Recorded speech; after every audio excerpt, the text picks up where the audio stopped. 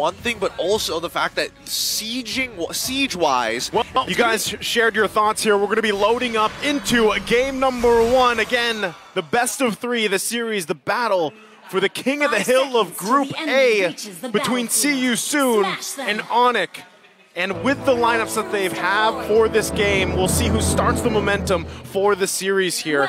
It all comes down to this start from what we've seen from See You Soon oh. mostly. Whoa, hold on, Ra. Oh. Uh, he's walked up too oh. far, and that might just be first blood. Woo. No, he survives. Okay, Boots doing a really good job, especially at level one, really abusing the Sand Tornado to make sure that he is just absolutely gnarly in this matchup because he knows even if he gets chunked down at the very least, as soon as he hits level two, he's just going to top himself back up.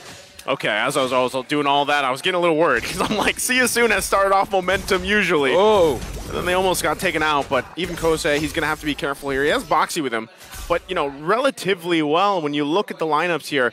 And you, I want to take us through the emblems here. Yasu, can you yeah anything particular out here? Well, uh, the thing is, we have seen Khalid do, uh, during the whole M5 series going for a full, I would say a full. This this time he's he have this one uh, part of a tank emblem, but he he goes always for a full damage with the assassin emblem. So so far, this is what I expected from uh, after seeing Boots pick up this uh, this Khalid, but I didn't definitely expect him to go aggressive at the first at the first minute at the mid lane, not even on the top lane side. I mean, that's what you need to expect when you have a Khalid on your side, right? It's about map influence in the earlier stages of the game where he is one of the strongest level ones in the game thus far. I mean, then there's also Thamuz, but then we have to start comparing the meta, and that's a little too much work to actually yeah. do right now. But let's focus on the simple facts, right? First, Hussein has Master Assassin as a Brody. That is not normal whatsoever. He is expecting CW to kind of be left on his own island.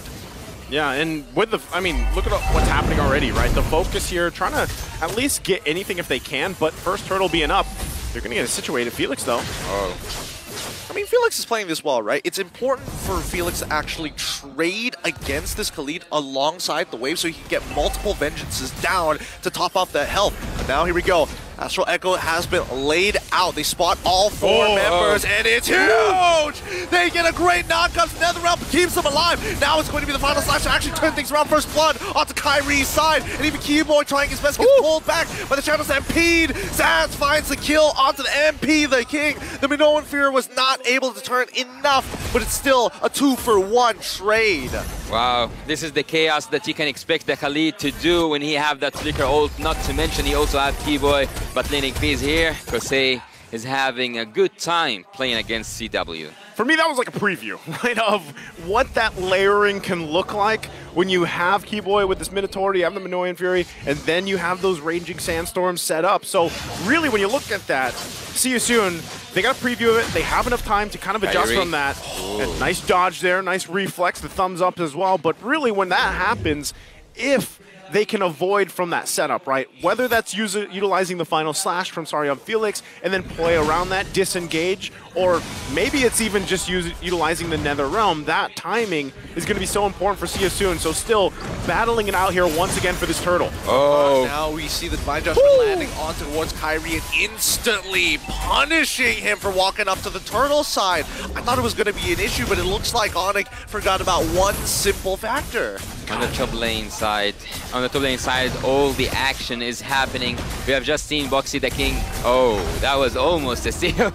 he uses a retribution even though he knows that carry is out. But again, I want to speak about something here, and that Kaja, this is something I didn't mention. Kaja is one of those heroes when you play a Minotaur you should be afraid from because when you are raging out, he can cancel your ultimate. He can take you down and drag you to his teammates. Yeah. Oh. W might be in some trouble here. Whoa. He takes a bit of damage, gets chunked down below half, and Boxy the King, again, they need to start making sure that they keep timers on when Boxy the King actually uses that Divine Judgment. It's dangerous, but it's also a linchpin for See You Soon. Yeah, paying attention to that, the timing there. Oh, Ooh. might initiate. Yep. They go with the Blazing Duet so far. And Netherrealm has already been called out as the Astral Echoes calls the rest of the team. The final slash comes on through, allowing Sorry I'm feeling to get on, but Boots stops the rest of the follow-up with a Raging Sandstorm. They find a kill back with the help of Sands, and King goes down Kairi. Now, with a spatial migration, wow. finds a double kill with the help of the Violet Requiem. That's going to be four down for nothing. Man, again, and it, it, like it looks like it might go in the way of You Soon, and then all of a sudden, smack comes Onic, and it was overlaid really well, but still, it's not a huge lead for them. See you soon can kind of recollect here, try to find their own timing, and right now, that's got to be Boxy. He's got to be able to find things up, but this might not be it right here. He's trying to Oh, wow. What's he trying I'm not to do? sure. I'm not sure what he's trying to do. Again, trying to bait something out here. Let's see if he lands it. Nope. Force the flicker out of there. Sands. He want he wanted that kill. He wanted that kill bad. Yeah. In All the last team fight, in that last team fight, crowd control speaks at its finest. We have seen a lot of crowd control being utilized from the side of Onic team just to make You Soon paralyzed on that top lane side. But again, CW I said the opposite. I said that Kosei is having the best time of his life, but after CW got those four assists in the early game, I cannot imagine how will he do in the mid game.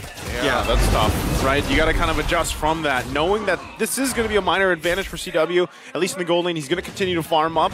So if you're See You Soon, once again, you want to be able to buy Kosei some time. You want to contest these, those, and that's uh, that's what I like them doing here. But really, can they actually get a pick off? That's one of the biggest questions when you're utilizing this Kaja pick. Right now, they have the positioning on the turtle, though. And it looks like Onic might actually just give it up. Kairi's not even a part of this. So MP the King getting that second turtle. It's just too much effort, too much time, too much resources when Kairi needs to start building up to his first and second items. I mean, at the end of the day, CW got a free tier 1 down bot side, and for what? For See You Soon to get a turtle? Just a bit of EXP and a, and a bonus turtle dragon buff? Like, it doesn't really do too much for them overall compared to Onic, who's getting influence over the map. Well, seeing that bot lane turret has been destroyed right now by Team Onic, I can imagine seeing uh, seeing Kerry in really good bushes. They've already started things off. The final slash Whoa. comes out towards Kairi's side. I don't think ah Felix now getting punched, but here comes the nether realm for the counter engage retribution already being used. But sorry on Felix still trying to get on T-boy. out. Sanz almost getting it, but here comes the raging sandstorm flickering on towards Big's side. It's too much damage. They pull back.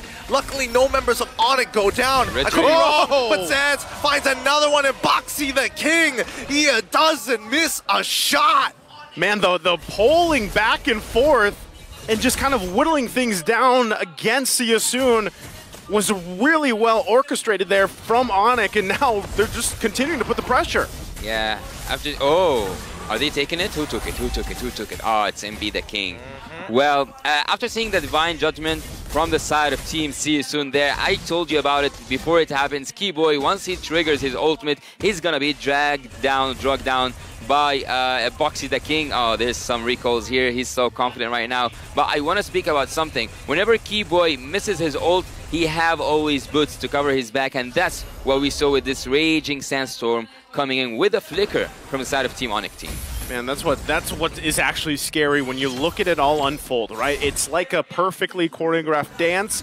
You have Kiboy there holding on to the Minoan Fury. If he actually gets Divine Judgment, it's fine because you still have the Raging Sandstorm. You still have, you know, spatial migration. There's so many possible possibilities to initiate a fight and pull back. That's what we see, right?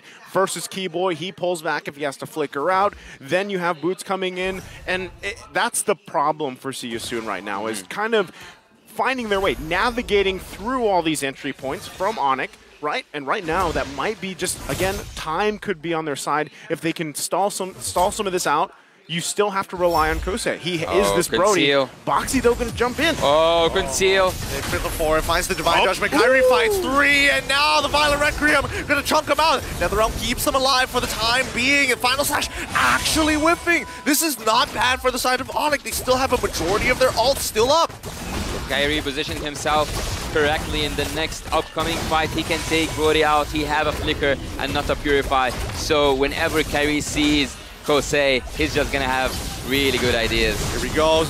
Oh man, Oh. sorry, I'm feeling tries to spend, but Kairi's going to be able to secure that low to the back line. He's getting attacked so quickly. And now CW finds a double. Sanz gets a mega one blazing duet to put him in the dirt and be the king. Trying to run away. Uh-oh. Sanz not gonna let him go. Chunks him out. Oh, this is the shot. CW should get this, right? Oh. There we go. Secures the kill. The and double even Raw trying to Sanz. You Uh, wouldn't. You uh, wouldn't. He's taunting him underneath inhibitor turrets and even Kiboy getting him back. They pull off, and here comes the Lord already spawned.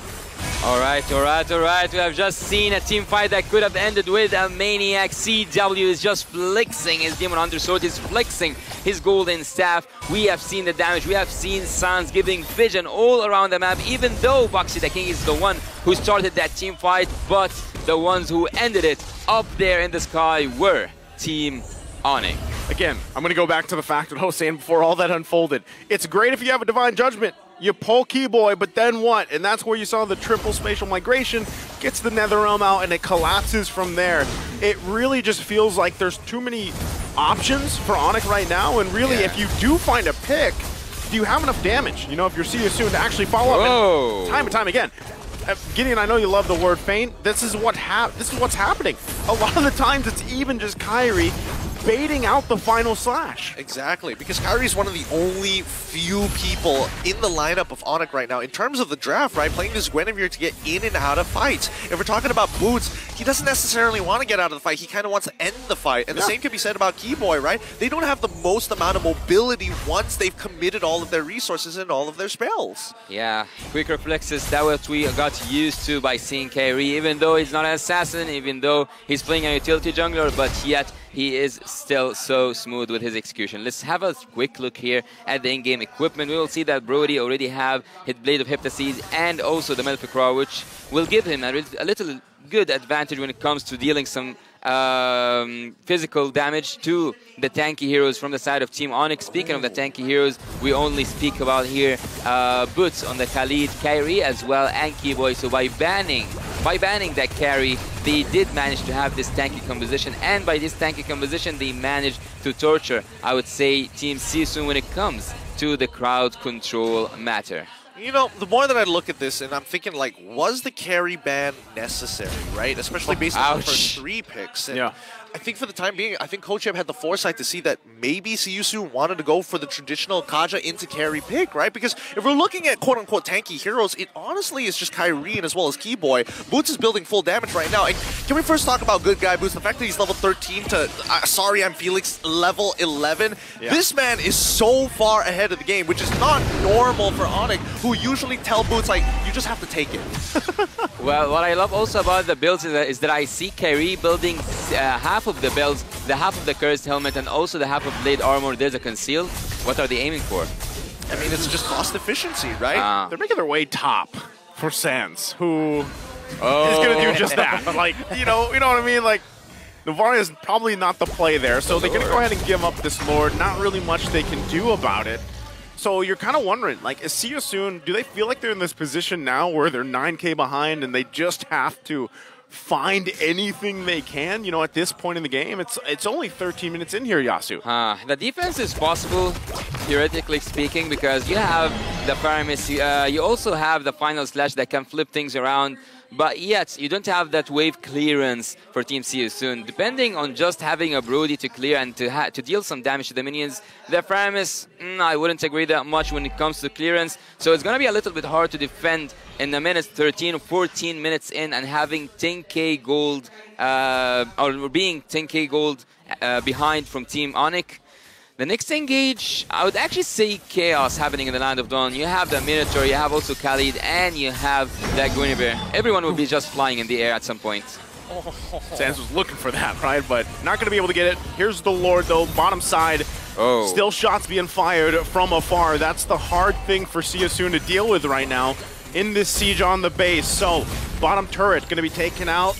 Onic still putting the pressure here. They might actually force a situation knowing that they have this kind of lead unless they Oh. take the discipline route and they just get the base fully exposed with this first push in. Yeah, I mean, just look at what they're doing right now. Like Onic, they could have synchronized the waves, but they've decided the Luminous Lord is going to crack open the very first inhibitor turret, right? So the next thing we're Yeah. going to do is start sieging you down. Like Sanz, get as many shots as you want. Put make them feel punished for sitting in their base. Really hurt them, and we don't have to commit anything. Just sweep through their jungle. Yeah, having the Blood Wings and also seeing the Malefic Crow comes for CW means that the damage will will be more annoying on Team Sisun, especially when it comes to Sanz because he's just dropping bombs from far away and dealing tremendous amount of damage to Kosei and especially also to Ra. Okay, so far so good though for See You Soon. They're holding it together despite getting siege from afar. You the, shot after shot from Sanz, but ultimately they only lose the one turret, right? Given the Yeah. fact that they're down 10,000 gold, that's not too bad. See you soon, though. Look at the damage dealt, right? I mean, at one point, where is that point for them to crawl back into this game? If they can eh, stay in the base, defend as much as they can, ultimately it's going to lead to Onic just taking another Lord, doing the same things until they are ready to actually force an initiation here. So Uh-huh. that didn't happen with the first one that they went in with with the Lord, but still, that's what's the future of Soon, unless somehow, some way, they are actually able to pull something off. This is where I would like to say once again, and why I feel like LaFell likes to say this. Imagine if the Arlott, if Felix can actually get a final slash off that's Oh. going to help them win a fight. Now you're LaFell pilled. He is. I am. He, I, oh, I'm no. missing him. I'm missing Uh, LaFell. Look, we got we got to keep it based here. We got to keep it based here on the Based. desk, right? The important thing is that Onic, at the end of the day, even if they try to force a fight onto See You Soon, it can be very awkward, especially when it's underneath their crystal, right? And that's why Onic is purposely, and that's where See You Soon call it quits. They're like, okay, we're only willing to sacrifice Felix. That's about it because he's the most expendable and he's the only one who's going to be able to kind of set this big play up for the rest of us. That five-man dream not going to be there just yet. Yeah, I mean, even in that case, it's like, should we have even been in that side of the jungle for the, the Lord, right? Like, what what would we do? What would we accomplish? Even if we had the vision there, it, would it have been better if See You Soon just waited in the base? Yeah, you know, Sargon Felix is going to be up by the time the Lord makes it here, but, you know, things like that are mm-hmm. just going to further set you back in what you're trying to do, crawl back into this game. At this point, now 12,000 gold behind at the 17 minute mark. This is where Onic is going to force it, punch it in, and possibly end it here as the Lord makes its way into the base. Yep, they've lost all their inhibitor turrets here. This might be an endgame scenario, as now we see that CW, he's got to be careful, right? Even though he does have the BMI in a safe spot, he is nervous about Boxy the King. He could really turn this around for them. They can harass for as long as they want, but as long as there's that counter uh, counter engage ability from the side of See You Soon, there's always the possibility. Kairi is going to make it the Oh. attempt. Kiboy starts things off, Oh. flickers in hard. The Netherrealm is going to protect him. Kiboy ends up losing his immortality, Oh. and now they're letting everything throw in the kitchen sink as well. It's going to be the Sand Storm God that keeps Boots alive immediately after the quick after the ult. It's too nasty. They can't do much about it, and Sanz has done enough to put them in the dirt. See you soon. Drop the game.